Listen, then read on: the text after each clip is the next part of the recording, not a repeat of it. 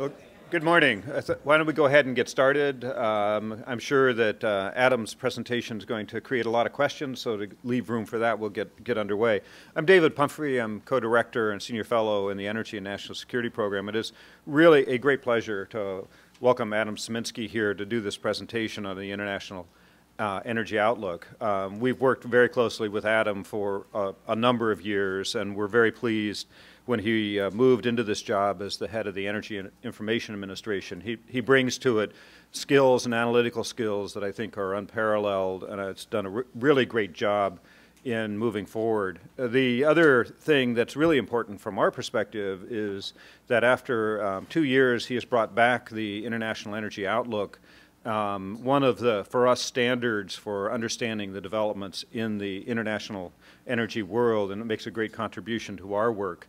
We have underway now a major study on the geostrategic implications of changing oil flows, especially with the North American um, energy uh, renaissance, if you will, oil and gas renaissance. And so this will be a very important piece in addition to, to our work. So Adam, we're very pleased that you're, you're doing that.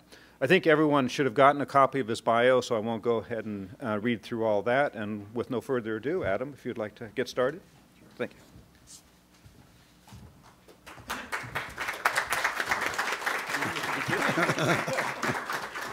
uh, maybe you should save that until after I get done. uh, Dave, thank you very much. It's uh, a pleasure to be here uh, with the uh, entire uh, CSIS team. John Hamre um, came down and said hello. Frank Verrastro, Sarah Ladislaw, um, everybody, Annie Hudson for helping set all this up. Uh, other people that need to be thanked, I think, for the International Energy Outlook. I mean, we, you know, we had to, we didn't do this last year uh, for budget reasons. There were some questions about whether we would have the resources to do it all. Uh, we figured out, I think it's international energy statistics is very, very important and uh, are very important. I could have said data. Data is important. And um, so we figured out a way to, uh, to make this happen. Uh, John Conti, uh, Sam Napolitano, and uh, Linda Doman, come on, come on, stand up, stand up. Uh, John, you know, is the assistant administrator for energy analysis, and Sam Napolitano runs our international uh, energy team, and Linda Doman worked really, really hard on all of this. So the parts that you like, you, you can thank them, and if there are mistakes in here, I'll take credit for those. Uh, so let's uh, uh, talk about uh, some of this. Key findings. So in the past, and I'm, I'm going to try not to repeat this every time, this is, I'm going to present our reference case. So the reference case is not really, uh, it, it's, it's the one that it, it includes existing law and regulation. Right, so EIA tries to stay out of the business of forecasting policy changes. Uh, we're supposed to be independent, nonpartisan, and we're supposed to stay out of the policy debate and leave that up to the policymakers. We're supposed to provide the facts that surround and inform the policy debate. And, uh, and uh, we're, we're trying to do that. So let's go through the key findings. Um, we'll probably uh, see uh, an increase of more than half in global uh, energy uh, consumption. GDP rising at 3.6% annually and uh, a 56% increase in world energy use, uh, with uh, half of that coming from China and India uh, alone. I, you know, I think that you have to look at this as some people would say that's going to be a problem. I think you have to look at this as good news. This is rising prosperity. Uh, so the, the question is, how do we accommodate rising prosperity uh, and, and still maintain uh, energy security and, and a good environmental um, outlook? Renewable energy and nuclear power, uh, world's fastest growing energy sources, so about 2.5% uh, per year each. but fossil fuels are still going to be supplying 80 percent of the world's energy use uh, in the year 2040. Natural gas is the fastest growing of the fossil fuels, and that'll be uh, supported uh, especially by shale gas growth uh, here in America. Uh, coal grows faster than petroleum uh, until after 2030, and then coal slows down, in our view, as the Chinese economy shifts more towards services and away from manufacturing, and I'll talk a little bit about that. Uh, finally, uh, you know, without further constraints of some type, worldwide energy-related carbon dioxide emissions are uh, projected to increase by not quite half by 2040 from around 31 billion uh, metric tons uh, in 2010 to 45 billion metric tons in 2040. Uh, that, uh, that is going to have to be addressed, I think, in some way. So, uh, economic activity and population are the main drivers. So the prosperity in China and India, as I said, is rising faster than intensity falls. So those two biggest um, brown and blue lines in the middle there for China and India. So GDP per capita going up very sharply in China and India. Uh, intensity, so that's uh, energy efficiency is improving, but not as rapidly as GDP is rising. And as a consequence, you get a lot of growth uh, in those activities. I said earlier, uh, we believe world GDP will be rising at about 3.6 percent per year, 2.2 uh, percent in the OECD countries, 4.7 uh, percent per year in the non-OECD countries. Uh, lots of differences across regions and, of course, countries uh, in, in this outlook. The population growth uh, in China, South Korea, uh, and um, OECD Europe have significantly lower growth rates uh, than in the U.S. and India. So that's kind of an interesting one. U.S. population actually growing uh, faster than a number of other countries where people have traditionally thought about population growing very rapidly. non-OECD Asia accounting for um, more than half of the increase in the world's energy use. So the blue there is the developed countries, the OECD.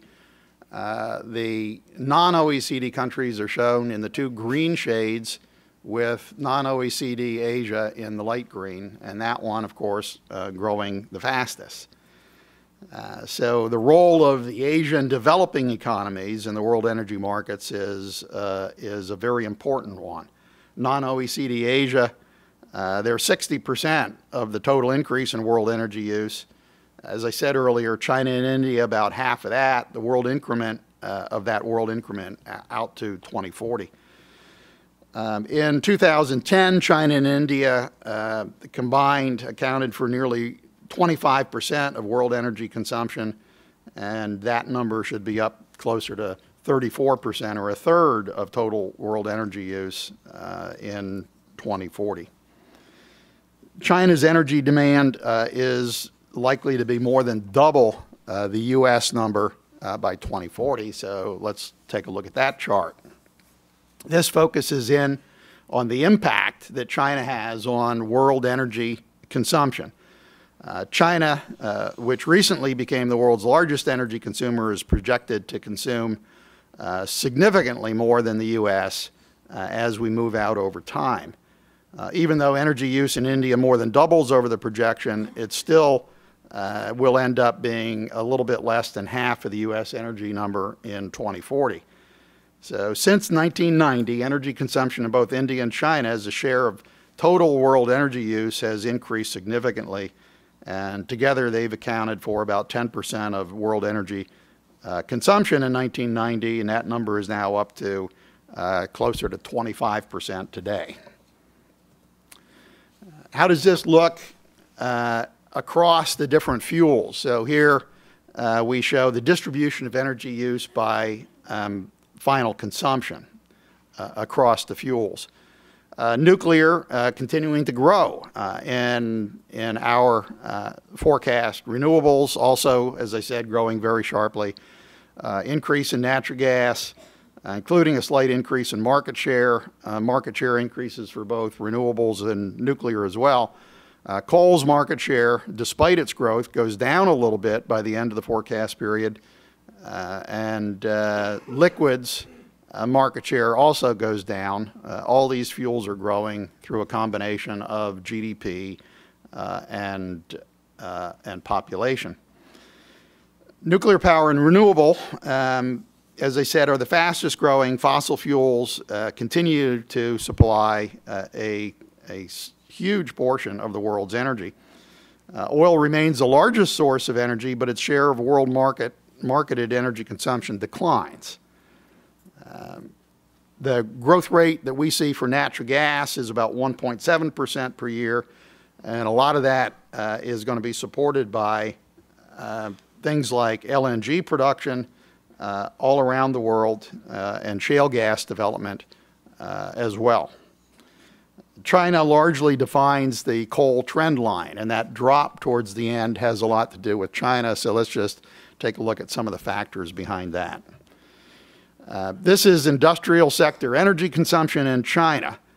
Uh, as you can see, we expect that renewables, natural gas, and liquids will continue to go up, electricity uh, rising, beginning to level off towards the uh, you know, end of the period in 2035 out to 2040. Uh, but coal coming down sometime after the 2030 period, and that helps the total uh, energy uh, sector, industrial sector in China um, taper off. Uh, why? So these are gross output curves. The one on the left is the output curve for iron production, very coal dependent. The chart on the right is output for chemical production, and that's more oil dependent, oil and gas liquids. So these gross output curves explain energy use in the sector. Iron production in China, very coal intensive. The decline in coal use in China's industrial sector in the out years basically represents the shift in China away from a manufacturing economy towards a service economy. Chemicals, on the other hand, are largely petroleum intensive, and it, and petroleum tends to still be important even in service oriented and chemicals uh, still very important even in service oriented economies. Now let's talk a little bit more detail about the liquid fuels markets. Uh, tight supply and demand balances in oil markets mean even in uh, modest actual or anticipated changes in supply or demand conditions lead, can lead to large uh, movements in oil prices uh, did, did everybody get why I said that? That, you know, small shifts can lead to large changes in oil prices. That's for me to be able to say that, no, I can't predict gasoline prices, and if they go to $4.50, I didn't do it. All right. Now let's talk a little bit about this chart that we have up on the screen. Um, OPEC member countries uh, contribute almost half of the total increase in um, increase, so that's the change in world liquid supplies uh, over the forecast period. So what you see is, is that uh, non-OPEC share of oil is growing faster than OPEC in the period out towards 2020, 2025. Uh, then non-OPEC production begins to slow down and OPEC uh, makes up uh, that gap so that uh, OPEC's uh, output and share of global markets begins to rise after a period in the near term where they're under a lot of pressure. Now, a lot of that is going to have to do with output of, of overall non OPEC production, and especially what happens with production of, uh, of shale oil uh, in the U.S. Uh, as you know, we just published uh, a uh, very thick study of global uh, shale gas and shale oil resources. Uh, we did the shale gas study, so this is a kind of a repeat of the shale gas study from a couple of years ago, but we added oil this time. And in our view, the curves or the take up that we saw in shale gas might not be quite as fast on the oil side uh, as it was uh, for gas.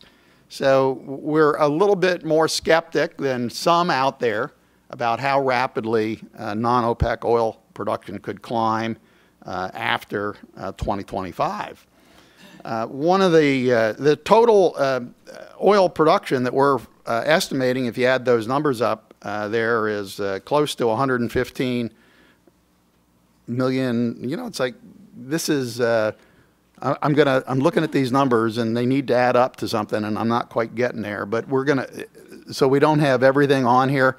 the non-petroleum um, contribution. So down at the bottom, uh, 2 million barrels a day going to roughly 5 million barrels a day of non-petroleum uh, liquids. So that's things like um, uh, biodiesel, ethanol, and, and other uh, ways of achieving uh, liquid fuels. So if you add up the 5 and the 49 and the 62, you're going to get about 115 million barrels a day of oil in 2040. So one of the things that I want to remind everybody is, is that back in 2007, the Wall Street Journal quoted uh, several uh, top oil executives saying projections of oil production over 100 million barrels a day were unrealistic. Um, there were a few that said uh, that uh, peak oil was not just around the corner, and that included uh, EIA's forecast. Now, we were more aggressive back in 2007. We said 118 million barrels a day by 2040. But I don't think that, that this is so much of a supply problem, right? Why, why are we now saying, uh, in, excuse me, the 118 was 2030, so now we're saying 115 in 2040. The difference between those two, I think, has more to do with demand than it does with supply. So I think that that's a very important thing to think about. Um, in the annual energy outlook, which we published in December, and then we did the side cases uh, and published those just what, John, a, a, month and a half ago or so, a couple of months ago. What we said in the in the annual energy outlook for the United States was that just incorporating the fuel efficiency standard changes that were implemented last year by EPA and NHTSA removed almost a million and a half barrels a day of gasoline demand in the U.S. numbers alone for the year 2030. Right. So uh, what I think we're seeing is through uh, improved um, energy uh, efficiency ratios, and it's not just in uh, you know in automobiles. We may see substitution in transportation uh, of natural gas fuels and other things that we're achieving uh, a lot of progress on the demand side. There's a lot more that could be done, I would imagine, in, in residential uh, and uh, commercial and industrial facilities uh, to move that along as well. Okay.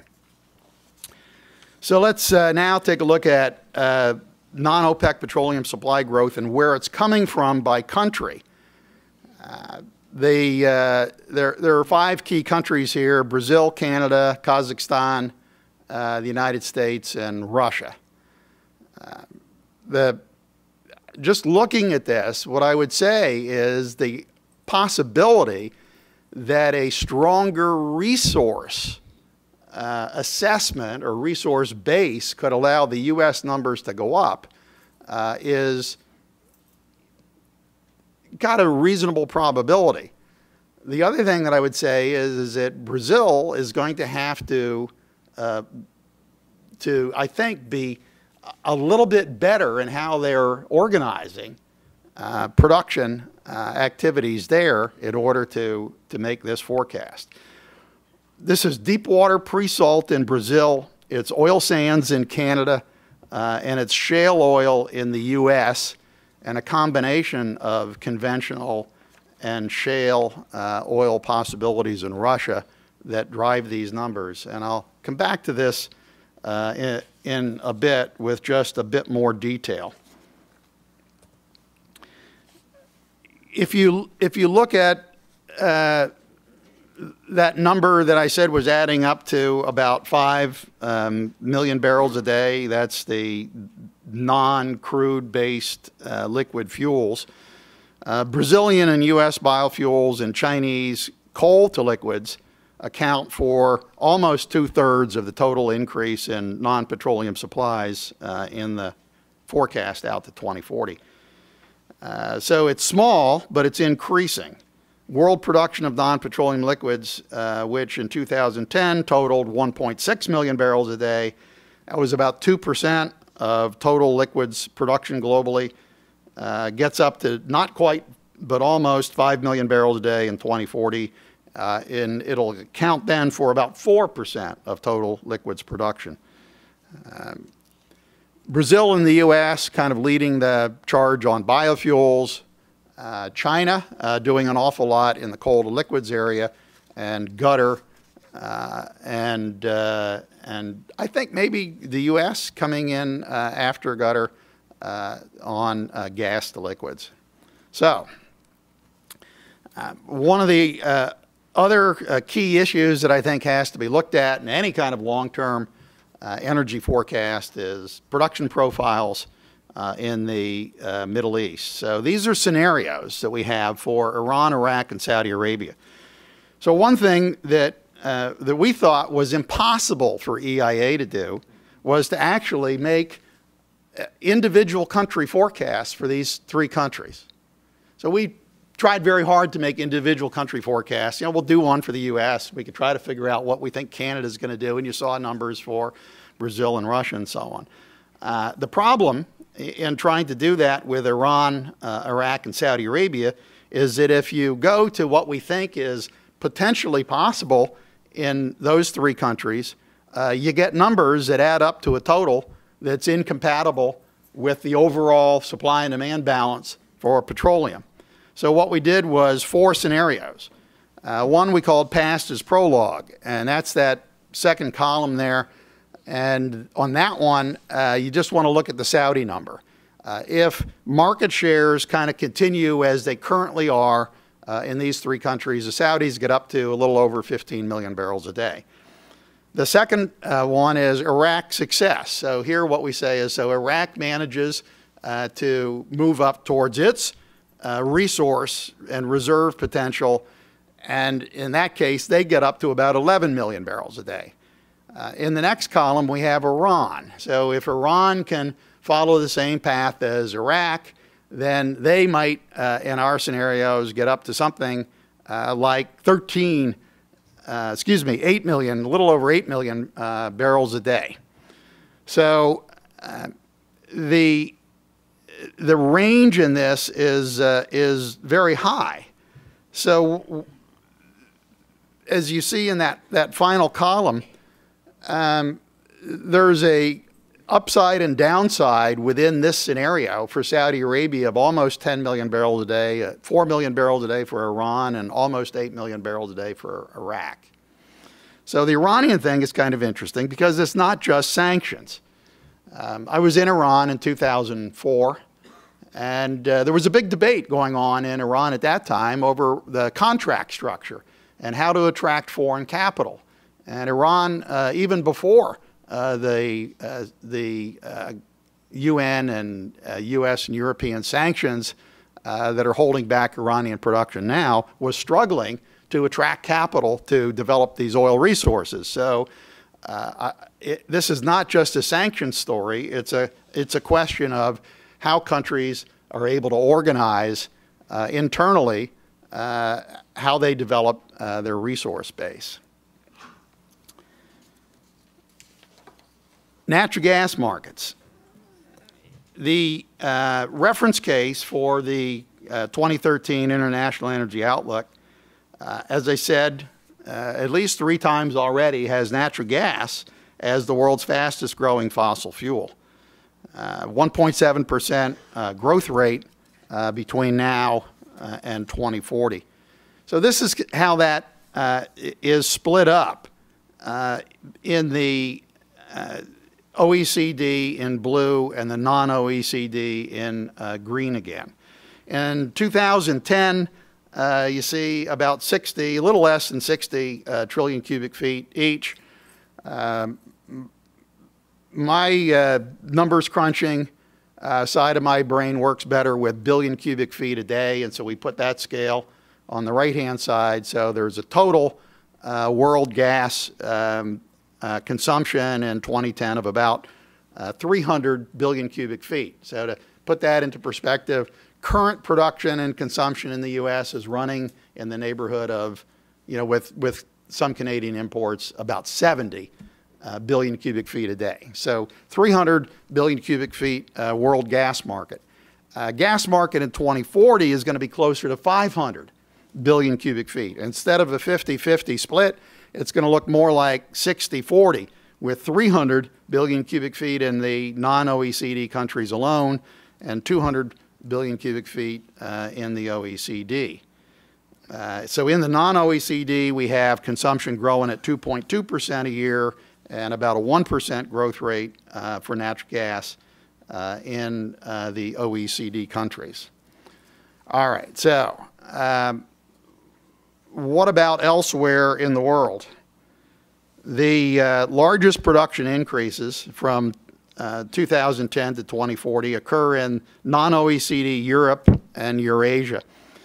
And uh, it's hard for me to, to do this here, but if you um, kind of break that top line up, uh, Russia and the U.S. both account for about 12 uh, billion cubic feet, or excuse me, uh, 12 uh, trillion cubic feet uh, in 2040. This is the change, so growth. and the other, so the difference between 12 and 19 in that top line is everybody else. In the Middle East, the way that's divided up is roughly Iran grows five, Qatar grows five, and everybody else in the Middle East grows about five, and that gets you to that 16 uh, TCF change number. Uh, the U.S., as I said, is 12. So the United States and Russia uh, increased natural gas production uh, by about the same amount and account for nearly one third of the total increment in natural gas uh, production. Uh, fairly big numbers from those two countries. Electricity markets. Uh, electricity is the world's fastest growing fo form of end use energy consumption uh, in our reference case. World net electricity generation nearly doubles between 2010 and 2040. Uh, total net electricity generation in the non-OECD countries uh, increases by a little over 3% and, uh, and it's even faster than that in China. So looking uh, at this chart, uh, coal still provides the largest share of world electricity generation in 2040, although its share does decline from uh, about 40% in 2010 down to 36% uh, in uh, 2040. The liquids share of total generation uh, also falls in the reference case. Uh, we have relatively high oil prices um, in the reference case, and um, that uh, tends to uh, limit uh, the growth in oil going into electricity, particularly in places in the, in the non-OECD countries. Solar is the fastest growing component of renewable energy. Uh, nuclear's power, uh, nuclear power's share of generation increases from, and we don't have that on there because the numbers were going to get a little too small, from about 13% in 2010 to 14%. So share going up and actual uh, generation uh, rising uh, uh, fairly decently. I'll come back to which countries that we see growing the fastest in nuclear in in just a bit. In fact, let's just do that right now. Um, that top line is really pretty stunning. Uh, green, so the green color is 2010 and the blue color is 2040. So Chinese growth of uh, 150 gigawatts of nuclear uh, capacity uh, in the period between 2010 and 2040. Uh, growth uh, in um, OECD Europe, not so much. In the Americas, little other non-OECD, uh, fairly uh, decent there. Uh, the, the China story is an interesting one. it, it'll,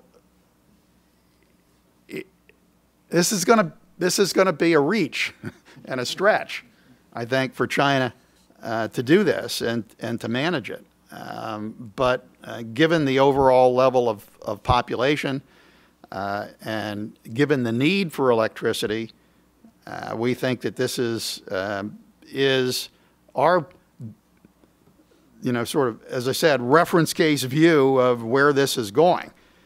Uh, the full extent to which governments, uh, especially in Europe and Japan, uh, might withdraw their support uh, for nuclear power uh, remains uncertain. The German and Swiss governments have already announced planned nuclear phase outs. And Italy, there's been a countrywide referendum that rejected plans to build new nuclear power plants. Turkey, Poland, and the UK have reiterated uh, plans for actually adding nuclear.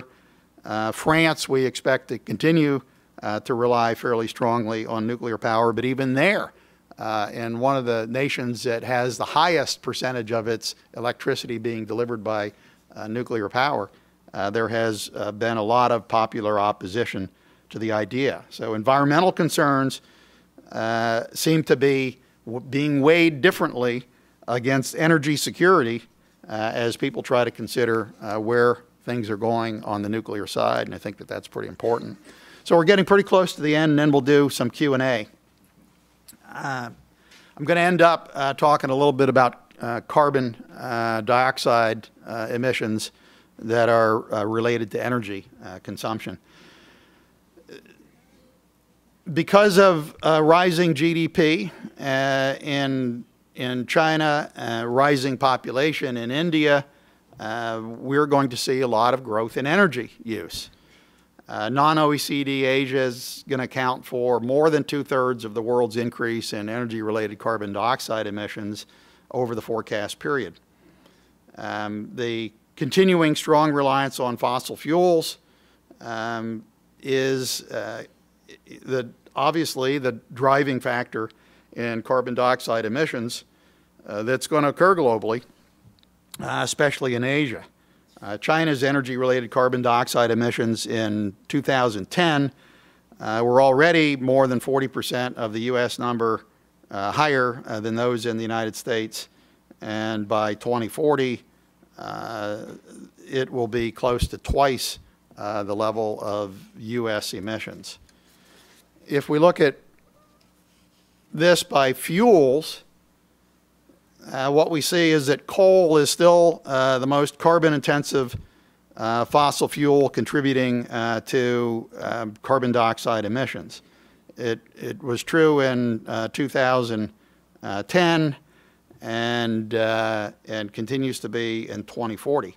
The natural gas share of carbon dioxide emissions remains relatively small by comparison 19%, uh, uh, if you go back to 1990, uh, at the beginning of, of the time frame in this graph, and it uh, holds at about 22% of total emissions in 2040. The uh, world's top three uh, national sources of coal-related emissions are China, the United States, and India, and it remains that way throughout the forecast period. So I'm going to close um, with uh, some comments on uncertainty in these forecasts. Uh, in, in, some presentations that I give, I actually start off with a slide that says why we will be wrong. Because, you know, if, if you think about this, uh, reference cases, particularly a reference case that's based on existing uh, law and regulation, uh, we know laws and regulations are going to change. We know technology is going to change, but we don't know when the technology is going to change. We don't know how rapidly it's going to change. We don't know about a lot of things, and I just want to highlight some of the things that, that uh, I believe will ultimately make a big difference in how these numbers work out. The long-term effects of economic uh, issues that we're seeing in the United States and Europe and even China uh, just over the last few weeks, for example, there have been increasing concerns raised about uh, how uh, the Chinese economy is performing and the possible movement of these short-term questions about the Chinese economy into the longer term, I think it's, it's, it's a realistic concern.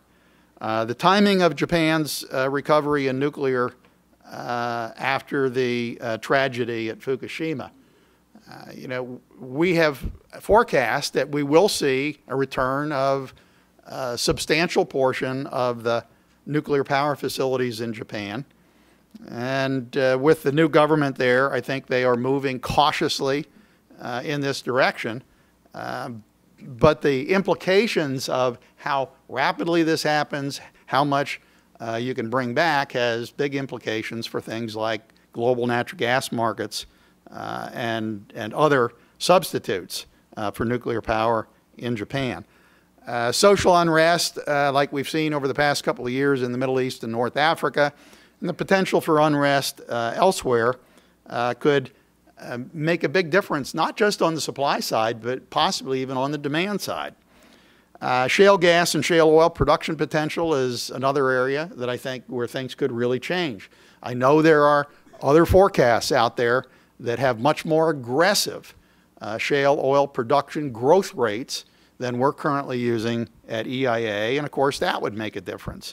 You know, one of the other things that we don't know is, well, what if we have further regulation of hydraulic fracturing? Because that's how um, shale gas and shale oil are being produced. And if uh, that regulation changes the cost structure enough, we might get less uh, than uh, some people believe. And so that's something uh, that, that again, is, uh, is very difficult for EIA to put into its forecasts. I highlighted uh, the issues that we see uh, potentially developing in terms of market share within OPEC between Saudi Arabia, uh, Iraq, and Iran. And then finally, uh, climate policies. Uh, we have uh, fairly substantial growth in CO2 emissions built into our reference case forecast. And just given a lot of emphasis is being placed on climate initiatives in Europe, uh, in the United States and, and globally, uh, it's certainly possible that that would change the landscape, either from a pricing or a regulatory uh, standpoint. And we, uh, we do have and have run some side cases uh, in uh, the, the 2013 um, International Energy Outlook. So we have four alternative cases that examine sensitivity mostly to GDP growth and oil prices. Uh, we have looked at carbon cases in for the U.S. in the annual energy outlook, and I encourage you all uh, to take a look at at the uh, the AEO and other white papers that we've developed at uh, EIA on that issue. Uh, but we've looked at high economic growth cases, low economic growth cases, high oil prices, low oil prices, and so on. Uh, all of those things uh, lead to uncertainty, but uh, what I presented to you here today is our best shot at it with what we know now. So, uh, Dave, with that, I'll be happy to take questions.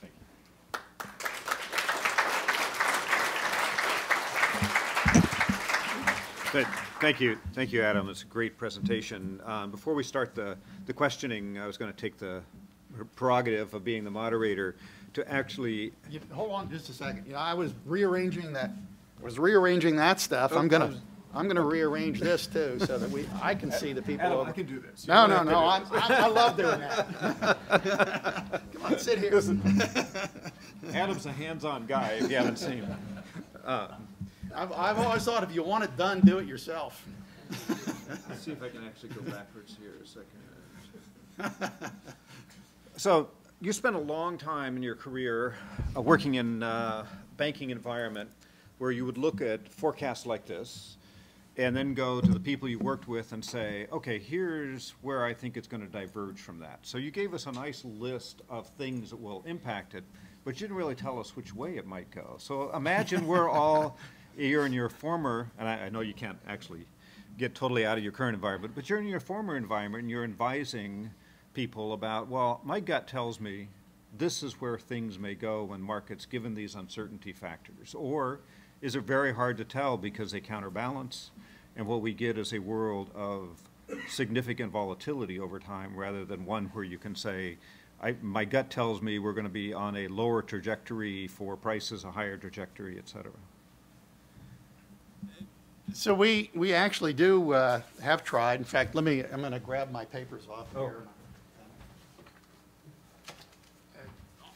On the, on the question of oil price trajectory, um, we have a high price case that actually gets up to $237 a barrel uh, in 2040 uh, in real terms. And the low oil price case is $75 a barrel in real terms. Our, our middle ground is, a- our middle ground is right head. Right, I watched, uh, I watched Guy Caruso, another, uh, uh, fine contributor here to, uh, the, the energy team at, at CSIS. I watched Guy get excoriated, I think, uh, one time up on, uh, you know, giving some testimony. You know, it, it's, it's hard, um, for the public, uh, to understand uh, why prices move around as quickly as they do.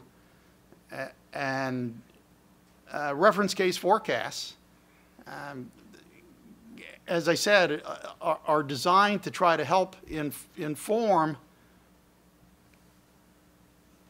the, the, to create a base to make decisions around, uh, but they're not going to be a perfect forecasting tool. And, and so you, you come back to like the oil question or gasoline prices. Uh, One of the things that economists will tell you is, is that uh, both oil uh, production is, is very inelastic in the short term. It's hard to increase oil production, uh, even with very sharp oil price increases. It's hard to curtail demand uh, in the short run with, with sharp increases in oil prices. So all it takes is a little bit of, a, of an imbalance in global markets and those very steep um, price elasticity curves uh, work against you, both on the supply and demand side. And so the only way to rebalance markets when you have shortages, for example, losing a million and a half barrels a day of light sweet crude oil from Libya, as happened, you know, several years ago, uh, is to see uh, a sharp increase in prices. You need the price to go up to, to remove demand from the market and to encourage uh, producers to bring on more supply. Uh, And uh, it is, uh, that just took me about two minutes to explain that, and the normal amount of time that you have at hearings is about 15 seconds. Right? So we, we, we, we're trying to build in something that we believe realistically captures the, the potential range. So your question was, how do we think that this would really move over time, um, you know, based on some of the uncertainties that are out there? I think that the possibility, uh, and I, and I urge you all to read uh, the, the section on uh, Middle Eastern uh, OPEC production levels, that it's a very realistic possibility that over the next few years, uh, as non-OPEC production is rising and demand remains relatively flat, that we could see um, a- a possible um, flatness in oil prices or maybe even weakness based on uh, competition uh, for market share among uh, key OPEC member countries. The other thing, uh, so I, I would say, uh,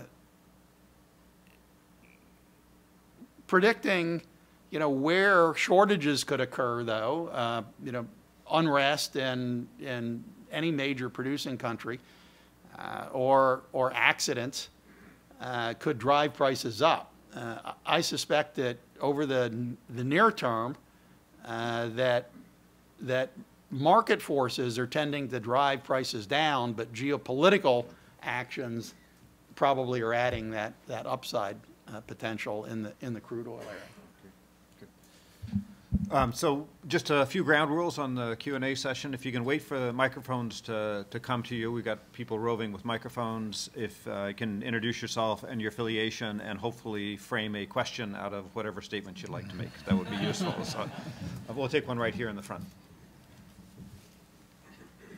Get the microphones moving. Thank you. Uh, My name's Charlie Curtis. I'm retired gratefully. Is, Um, Adam, is that, I don't know whether it's working. Can you hear Charlie? Okay, I- everybody? I see people- Yeah, now, now they can. uh, uh, just a question. Uh, did you do, uh, or do you have available any um, uh, energy trade balances among nations arising out of this analysis?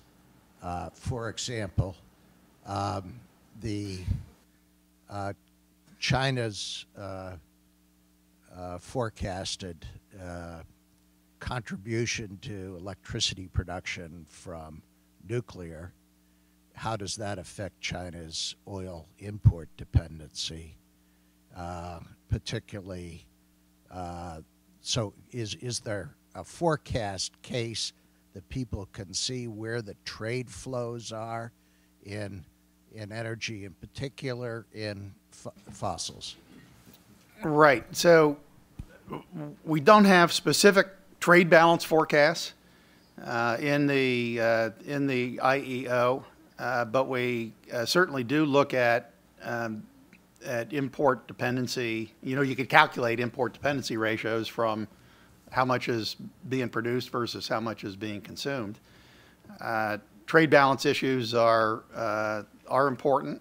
Um, China's import bill uh, for oil will be rising, and uh, interestingly, uh, given where we're going, at least certainly over the next you know five to ten years, the chances are pretty good that the U.S. import bill is going to decline substantially. We've already seen uh, U.S. Uh, oil uh, imports as a proportion of our uh, total oil demand uh, go down from like 60% in 2005 to below 40% now, and we're continuing to, to drift lower on those numbers.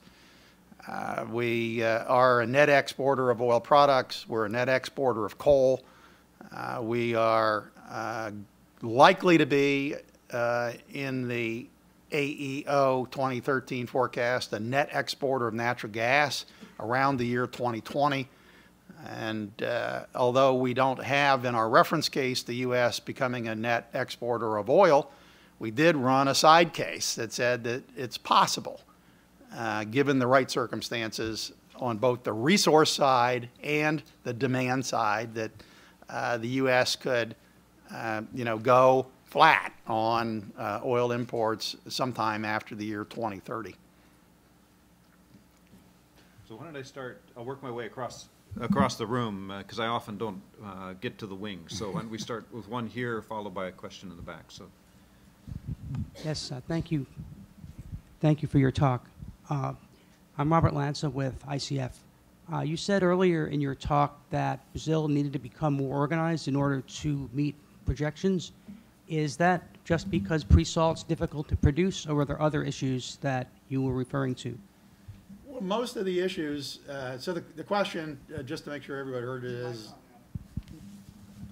the, the question uh, was, I had said that uh, Brazil's got some above-ground issues.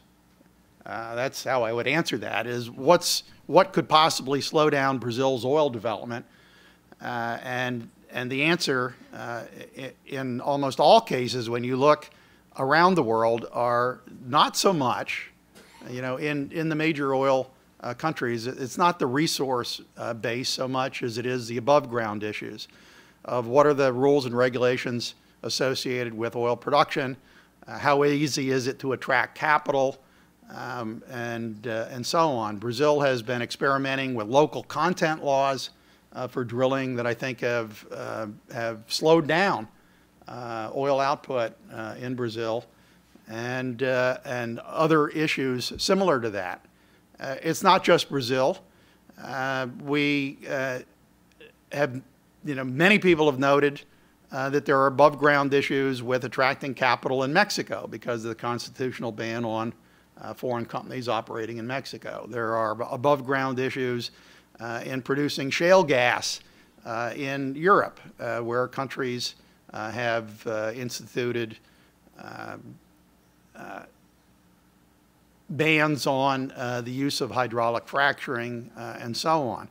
Uh, there are uh, lots of above ground issues uh, when you think about them that have to do with how strong uh, the uh, drilling companies are from a technology standpoint, um, how easy it is to uh, get access to land, um, you know, what the incentives are um, for the uh, company that's, that's uh, drilling and producing relative to the uh, landowner or royalty uh, holders, and a host of other uh, issues like that. And as a consequence, it, it just adds uncertainty uh, to all these numbers uh, for, for everybody, uh, not just any individual country. And I think there's a question in the back of that section. Yeah. Blake, can you hear me? Yeah. Uh, Blake Sobczak with Energy Wire. I just had a quick question about uh, uncertainties from the technological perspective. Uh, you know, there's been a lot of buzz lately about methane hydrates. I guess what's your favorite uh, technological uncertainty going forward toward 2040? What's my favorite technological uncertainty? Um, well, I, you know, that's, that's actually kind of an interesting one. And Maybe you could go through, you know, go through fuels. Um, eh, you know, there's probably lots of different ways to cut that, but let me try to do it by going through fuels. For coal, I would say, uh, can we figure out some way to, to, um, to do uh, carbon sequestration? Uh, For natural gas, it might actually be that too. Uh, But on the natural gas side, let's say that the uh, major technological question uh, will be um, how, you know, how do we make sure that we properly manage hydraulic fracturing? Um, And, and could technology play a role in that? I mean, there have been, uh, there's been an effort made, for example, to reduce the amount of water uh, that's needed to fracture wells. There's been an effort to move away from, to think of ways to do this that might not even use water at all. Um, Nuclear, uh, I would say there, uh, probably the most interesting thing would be, is there uh, going to be an opportunity for SMRs, small modular reactors? And could that, and, and waste disposal issues on the technology side, and would that uh, give a new um, boost to uh, nuclear power on a global basis? And for oil, um, I would say that the, the key technological question for oil is not so much in oil itself, but probably um, what would we see uh, on the technology side that would take oil's market share away in fuels? And that would be developments in electric batteries and uh, developments in technologies uh, that would allow natural gas to be more economically used in uh, transportation, uh, like LNG in heavy trucks and um, rail uh, locomotive applications, marine applications. So, uh, interesting question. Thanks for that. Just a few uncertainties. Um, Okay, so I'll w- take one here and one back, well, okay, what, these, these three right here in the middle section we'll take in order, so why don't you go? He'll be, s- Roger Humphreyville with BP. Your projection showed significant increase in biofuels production in the U.S. and in Brazil. Did the study look at how that will evolve in terms of conventional biofuels versus advanced lignocellulosic? Right. So the question was, we uh, do have growth in biofuels occurring uh, in the U.S. and Brazil. Uh, Have we looked at uh, the split uh, between uh, conventional and, and uh, newer technologies, cellulosic technologies? We have. We've actually, I think we've, when did we, we have published um, or, or will shortly publish a fairly sizable document looking at, at, you know, I, I know, I know we've, we've looked at, at carbon, and I think we've, we've done some stuff on, on, uh, I think most of the information on biofuels, especially for the United States, is in our annual energy outlook. Right. this is John, John Conti. So, yeah, so our detailed, our detailed, pro- Close. Yep. hello, hello, Yeah, yeah, there. Our detailed projections for biofuels, you can find in our annual energy outlook. And it basically, you know, we go straight up to the corn limit in the RFS, and then there's some additional advanced technologies, and, and it's unclear exactly, You know, we have a forecast in there, which we've reduced a couple of times over the past few years. Right. Um, But we, we that- intend to see cellulosic ethanols and the like going forward in time. Maybe not the levels mandated in the RFS, but they're, they're we expecting to penetrate that and other sources. For Brazil, we don't do the same detailed analysis we do for the AEO. However, um, we believe there'll be sufficient quantities of advanced, what we consider advanced in the United States, uh, uh, uh, ethanol. I did testify uh, a couple of weeks ago on uh, renewable fuels issues, and one of the things uh, that that we've said is that since the uh, renewable fuels um, law was passed, and I think it was 2007, uh, we've been EIA has been arguing that the the target for 36 billion uh, gallons of renewable fuels that was set for 2022 was going to be extremely difficult uh, to achieve. Uh, I think we started off saying difficult, and then we went to extremely difficult, and I believe uh, what I said two weeks ago was impossible. so um, i it's the, the technology is not developed as rapidly as many people were expecting, and the number of advanced biofuels plants that have been built really uh, got slowed down very dramatically by the 2008 2009 recession. Uh, and uh, so we're seeing a couple of startups just recently, and we'll have to see how all of that works out. Um, but uh, it, it'll be, you know, there's, there, it's coming, but it's coming slower and at lower volumes than were originally anticipated by most of the people, I think, who were looking at this. So there's a question here in the front, and then we'll take one in the back.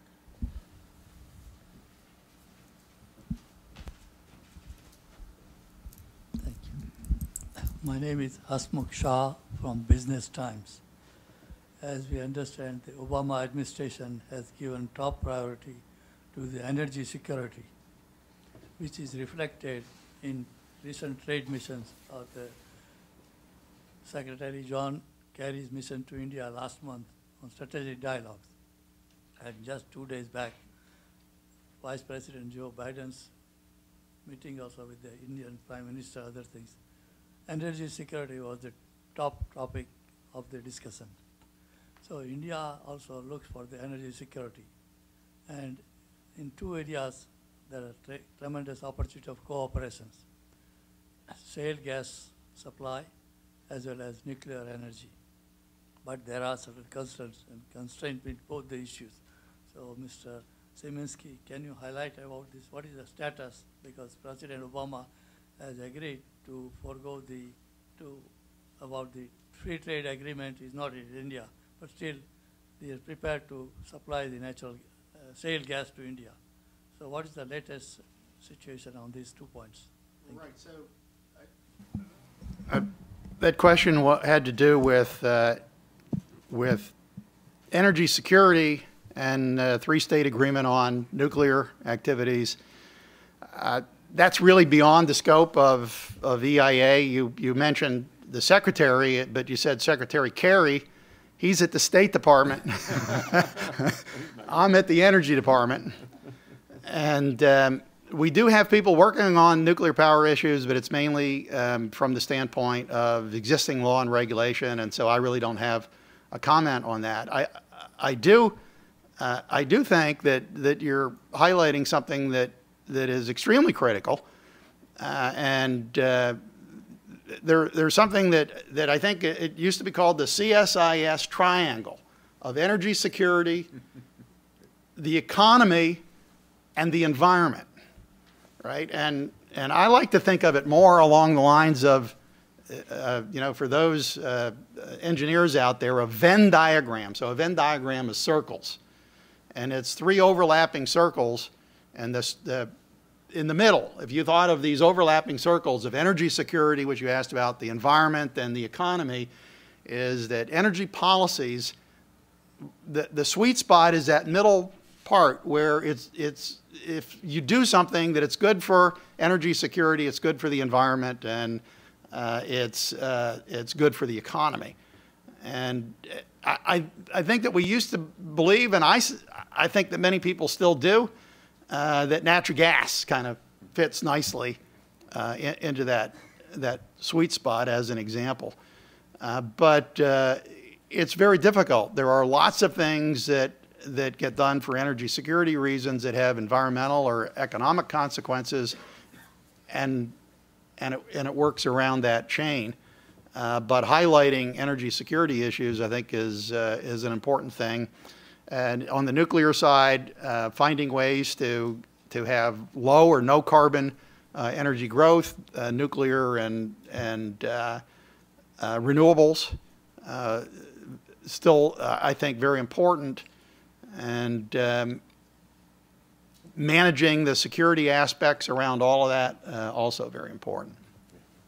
So question there, and then we'll move over. Adam Siegel, I run the Energy Security Program at Insight Through Analysis. First of all, thank you very much. I love thinking in the Venn diagram very much, so I appreciate your, your visualization, your words to provide the visualization. Uh, one of the strengths and weaknesses of a baseline case, scenario reference case, is it's using government policy, obviously US, but how do we apply this worldwide? One of the numbers jumps out to me. The Chinese, I think it's in the five-year plan, say they're going to peak coal in 2015, yet they, uh, what this is saying is a peak in 2030 timeframe that has huge implications, uh, carbon and otherwise. The Chinese government says they're peaking in three to four years, and many of the purchases of technology that I'm tracking go right with that. Yet you're saying they're not going to peak for another 15 years after that. You know, I keep turning this mic off, and I have to learn to just leave it on. I'm hoping somebody else will answer that question. That's why I turned my mic off. Uh, Well, how do we do um, evolving rules and regulations in other countries? It's hard enough for us to deal with that here in the U.S. It's, it's increasingly, you know, problematic as you move out into, to other countries. And uh, we, I- suspect that what we're doing is kind of relying more on existing trends uh, and, and a slower move uh, in things like that, uh, just based on how we are seeing those numbers develop. Uh, We do have a number of people uh, here uh, from EIA, and why don't you come up and grab, uh, you know, Sam Napolitano or John Conti afterwards, and we'll get one of our coal experts or China experts to, to look into that. Um, Candace Dunn on our staff, who I don't think made it over here. Is Mike, Mike, where are you? Do you want to answer this question, Mike? Go ahead, take, the take the microphone.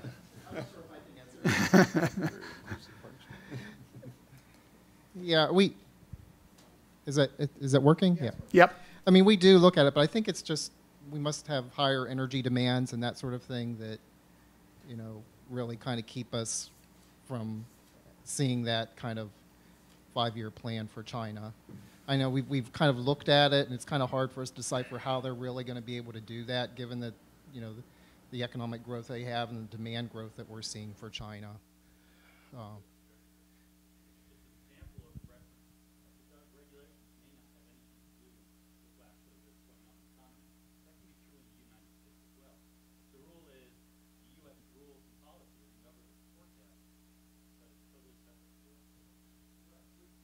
so the, the, the point that was made was that when you do a reference case based on existing law and regulation, uh, that you might end up, um, you know,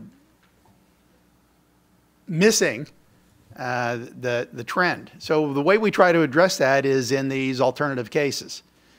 Uh, we didn't do as many alternative cases for the IEO as we do in, for the U.S. and the AEO, but in the U.S., for example, we, we do look at uh, different cases uh, like for carbon uh, fees. Uh, that was a big part of the, the AEO, and that makes a huge difference. I mean, just in the U.S., and I can speak to those numbers, something like a $15 uh, a, uh, a metric ton uh, charge fee uh, or the equivalent thereof uh, over the time frame out to 2035 or 2040 makes an enormous difference in, in what the fuel structure for electric uh, generation looks like. Uh, you get uh, less of the carbon intensive fuels, coal, for example, and more of the less carbon intensive fuels, uh, a little bit more uh, natural gas, for example, and a lot more nuclear. And uh, I, I agree with you that it's important, and that's why we try to do the side cases. The problem uh, that we always run into is, is that the more side cases we do, the longer it takes to do the study, the more complicated it gets, the more tables there are in the back. And, um, and so we try to highlight uh, what we think are important in the side cases, uh, but we can't, we can't do it all. Uh, but I think that, that the, the question you've raised is, is a, a good one. And I think China in general, I mean, when you look at China in these numbers, uh, the economic growth that's occurring there uh, is uh, is stunning. Uh, that is fantastic in terms of the number of people who have been lifted out of poverty. Uh, on the other hand, it has consequences uh, for both energy and the environment that, that are um, significant. And the data from China to allow us to, to make a lot of these assessments is very difficult. Um, there are uh, lots of issues associated with uh, th- simple things like what's the level of coal reserves in China, and you know will uh, will coal reserves uh, uh, move China uh, towards other fuels, not just the you know or, or the lack thereof, you know, move China. So we don't really quite think so, but it's an issue. Uh, some of the other things that, that come up in, in at least as far as the oil area is concerned, is the lack of a lot of data once you get outside of the US, Japan, Germany, and, and a few of the other OECD countries that- on oil inventories. We don't know what oil inventory uh, pictures look like in a lot of countries, and I think it's critically important to understanding uh, world oil supply and demand balances, and we just don't have that data. I don't have it from, uh, from China, don't have it from a number of other countries, uh, including Russia uh, and, and others, and it makes it very, very difficult. You know, and that ends up why we have this big range, you know, in our, our oil price forecasts.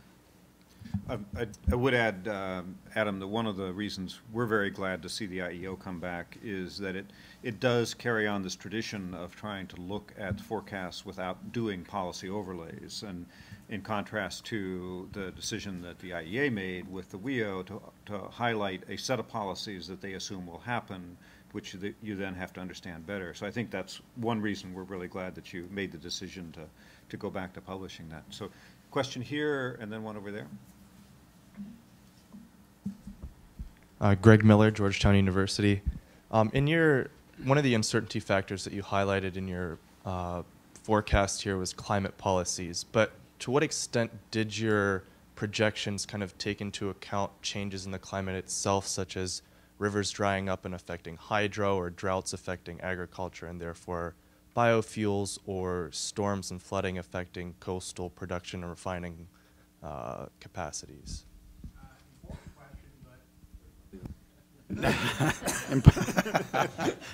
Right. So did we look at the impacts of, of changes in weather, um, floods, uh, forest fires, uh, ocean level, you know, increases, temperature changes? Uh, and the answer is no. Um, I had a related actually question. So for about CO2, you have CO2 emission projections, okay? My question is if those numbers are plugged into some climate models, whatever they are, what, when, we, when will the temperature increase by 2 degrees, 4 degrees, etc.? Specifically, I think there was a paper saying like, when we reach cumulative CO2 emissions 1 trillion metric ton, you know, cumulative, that's when we get 2 degrees Celsius. So the question is, when we're gonna, by which year we're gonna reach trillion metric ton emission total? Which year? Do you, can you estimate? So the, the question, wait, I need a piece of tape on this. Maybe I can move my papers up there, so then I won't see that red button. So the question is, what's the annual growth in, in CO2 emissions? Right. Are we trying to, is EIA trying to relate CO2 emissions to temperature? No. I mean, that's, we're not climate scientists at EIA, and there are plenty of other parts of the, the government, EPA, uh, the United Nations, and elsewhere uh, who are, you know, making a strong effort at, at trying to understand those relationships. But we're not, we're sticking to the energy side. I, I want to come back uh, to the issue of, you know, are we thinking all, at all about uh, floods, forest fires, hurricanes, um, and so on at EIA? And yes, we are. Uh, at least for the United States, uh, we have dramatically over the past year improved our mapping capabilities, and I urge you to go to the EIA website and look at our uh, mapping systems. Just recently, we've added uh, to our mapping that can get down to the county level uh, on a lot of things um, in terms of energy facilities, you know, where the resources are, resources and reserves, where the production facilities are, where power plants are, transmit, all these things uh, that, that, uh, that we can show to the detail that's allowed uh, by Homeland Security. And there's plenty of that in there uh, that you can look at. We have map overlays, and one of the things that we just added is the, the, a, a direct feed from NOAA on hurricanes. So if you want to, when a hurricane comes in, you can see where that's headed towards production facilities or uh, electric power uh, plants and, and that kind of thing.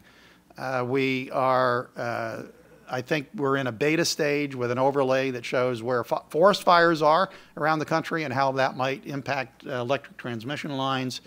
Uh, we're looking at, um, at storm surge levels and adding a layer in for storm surge uh, levels. This is in the aftermath of Hurricane Sandy.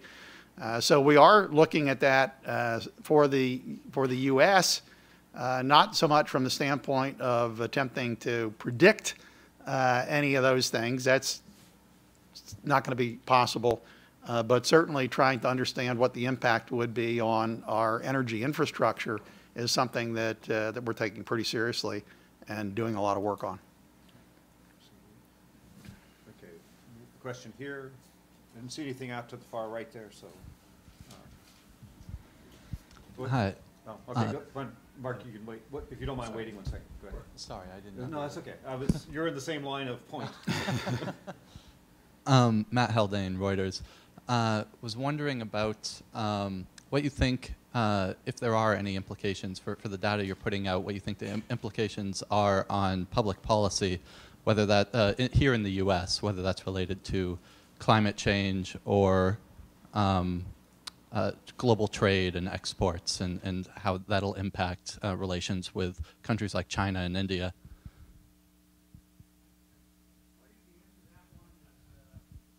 Ah, it goes off on its own. I'm not doing it. Okay. That makes me feel better. Uh, uh, you know, I wonder why does that go off? Um, I, I think my reply to that one is going to be very similar to uh, the, the question on um, nuclear uh, security. Uh, that's really uh, something that's in the, the, uh, the State Department and, uh, and is not really an EIA uh, issue.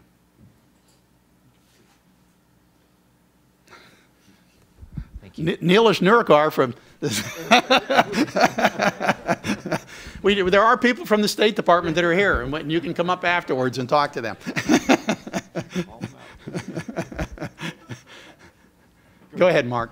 I was just waiting to see if Neelish would duck under his chair. Right Mark Finley with BP. Uh, It yeah. says that we're an equal opportunity employer here at EIA. I'll direct questions to all of the various departments. that- I, I, I'd like to uh, thank you for an invaluable service that you and, and, and you know and, and the dedicated team at EIA provide with this uh, outlook. Uh, so thank you, first of all. Um, you, you mentioned transportation as an uncertainty for oil. Um, you mentioned the potential for batteries and for natural gas in transport. And I'm just wondering if you could talk a little bit about what you actually see in your base case uh, in that regard. I mean, does oil keep its monopoly in transport? Um, Right. Who wants to answer that question? Uh, Yeah, you want, they- you want me to answer that question?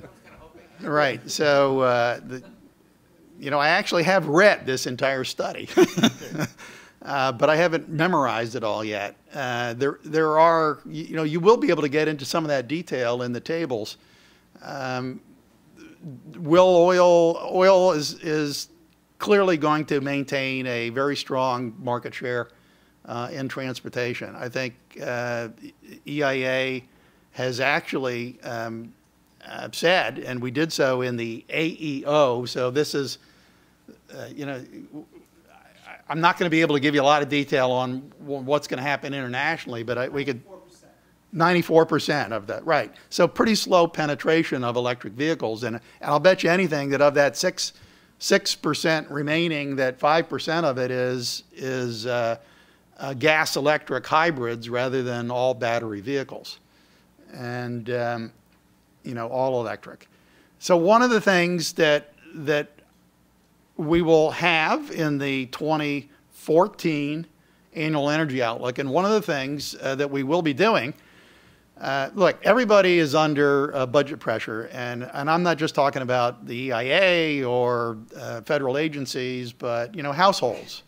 Uh, you know the the drop in the economic activity that we saw in 2008 and 9 uh, is still reverberating across the economy in terms of of how much money people have in their pocket to spend, and uh, and it's true for EIA as as well as as it is for people that uh, have been hit very hard by high gasoline prices, just as an example. So, what are we trying to do internally to deal with this uh, at EIA? And one of the things that John Conti and his team came up with was that uh, we could try to do alternating years, so a light and regular uh, year for the AEO and the IEO. And so next year we're going to institute the first year where we're going to do uh, full AEO but a smaller version We'll update the tables and particularly the petroleum side of the international energy outlook. Uh, and then in 2015, we'll do a scaled back version of the U.S. outlook and, and get back to a fuller version of the international outlook. So let me come back and, and, and address at least part of your question uh, from a U.S. perspective. Uh, one of the things that I'm pretty sure that will be different in the 2015 uh, 14 AEO uh, in the U.S. is greater penetration of natural gas into transportation. And I suspect that it's, it's going to be mostly LNG. We are seeing a lot of experimentation uh, going on right now uh, in uh, LNG into heavy duty trucking, LNG into rail transport. Several railroads are this year experimenting with LNG uh, as a fuel to drive what they used to call diesel electric engines, diesel fuel, you know, powering generators to make electricity. And it's very easy to convert a diesel engine to run on natural gas, and the railroads are experimenting, experimenting with this. And I do know that there are some uh, uh, uh, freighters uh, that ply the intercoastal U.S. trade that are under construction in uh, Louisiana that are going to run on LNG. Uh, they, they will probably be dual fueled, capable of doing both uh, uh, marine fuel and but LNG as well. And and I think that that is something that we missed out on in the AEO 2013, but we're going to capture uh, that development, development uh, looking out. Uh, one thing that I think we've learned, Mark, across all fuels, all technologies, is that, that uh, things take a long time.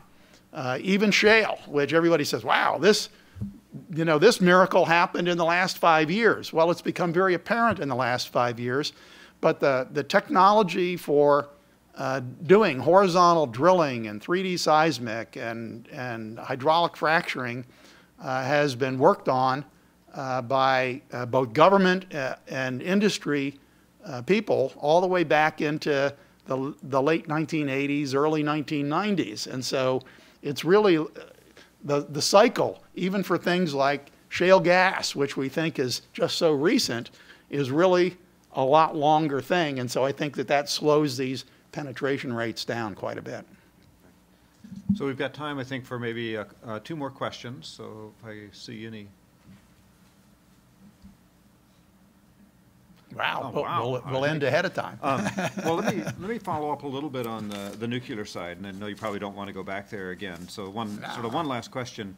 Um, You're showing you know, the, the aggressive China growth, which I, I think uh, everyone expects, but you're also showing some significant growth in uh, the, um, the Americas as such. And looking at where the U.S. nuclear industry is going, it looks like we're perhaps not even building more and perhaps we're declining. So I was wondering where this growth may be happening. Are you seeing in the in Latin America, Canada, someplace? Yeah, I think we're we're expecting uh, Brazil uh, to grow nuclear, uh, even in the U.S. Uh, our forecast suggests slight growth in uh, nuclear output in the U.S. That uh, that we will build build a few new nuclear power facilities, so existing technology, and um, and that uh, retirements uh, will be more than offset by the, the additional plants and uprates uh, to some of the existing plants, and so that we'll actually have greater uh, nuclear generation in, in the U.S. Uh, so, uh, yeah, it's a combination of the U.S. and a few of the countries in Latin America. I don't know whether we, I am not sure what we have in for Canada, but I suspect that some of those numbers in, in which country? In Canada. So three gigawatts in Canada and, and uh, sound about right? so, okay. Um, Well, um, I think, Adam, we've, oh, we've got one last question. so. Or a comment. It's Ayaka Jones from EIA. So Ayaka, Sorry. did you want to talk Um, about coal too? Yeah, may I try to answer that question on China, that gentleman's question? Yeah, so there are a few points. Uh, First of all, the five-year plan is not binding. I don't think on the coal target. And Historically, like in the past few years, 2008, they have surpassed the 2008 or 2010, not quite sure. Uh, They have passed the, the target that the government set. And second of all, I'm not sure if uh, uh, the five-year plan really means the peak coal in, by 2015. Um, maybe the five years they said they will cap coal, but going forward after the, this 12th, the fifth year what's happened, I don't think it's uh, clear. And uh, third of all, based on our projection for coal consumption is based on our GDP outlook and resultant power demand outlook. And we, in that supply mix of electricity, we already built in very aggressive nuclear plant, as you can see uh, the slides uh, Adam just showed. And we also build in hydro uh, development. The only wild card is natural gas. Uh, we've built in a reasonable story we think um, might may work given the above ground issues for unconventional gas development. Um, if uh, you know that's a, that's the only wild card for coal consumption to peak by 2015. Natural gas have to take off by 2015. I don't think, and unconventional natural gas have to take off that early, which we don't think that's reasonable. So, yeah. Thanks, Yaka. Um, so actually, that reminds me of, of uh, a couple of things that I, I wanted to say. So uh, the last point uh, of the three that Ayaka made was the uncertainty surrounding coal, uh, excuse me, natural gas in China, and I talked about a lot of these above ground issues. Uh, it's not a below ground issue, and this comes from uh, EIA's report on global oil and shale gas resources. And you see that China, according to to uh, our numbers and numbers from ARI, Advanced Resources International, has an abundance of shale gas resources. So the possibility that some of that could be developed uh, is very strong. I think it's kind of interesting that you also see on the gas side Argentina, Algeria, uh, and, uh, and of course Canada, but even Mexico. So we're back to, you know, if, the, if Mexico can deal uh, with some of the above ground issues that they have, uh, the potential for development of gas resources there is very strong. On the left-hand side, uh, I mentioned earlier that, that Russian oil production we expect will actually be higher in 2040 than it is now. Uh, the Russians have a lot of uh, potential shale oil, uh, again, even bigger than our estimate uh, for the U.S. And there's shale resources, oil resources in China, Argentina, and Libya as well. And so all of that creates uncertainty. The second point that I wanted to make, and I'm really pleased that you jumped in uh, on that, is one of the things that I found uh, since uh, arriving at EIA a year ago in June uh, is the unbelievable number of smart, dedicated uh, public servants. Charlie Curtis and I were talking about public service uh, here in Washington, and uh, um, I feel myself choking up a little about this. um, EIA is chock full of people who really want to be accurate, objective, and relevant. And we're trying real hard to do that. Thank you.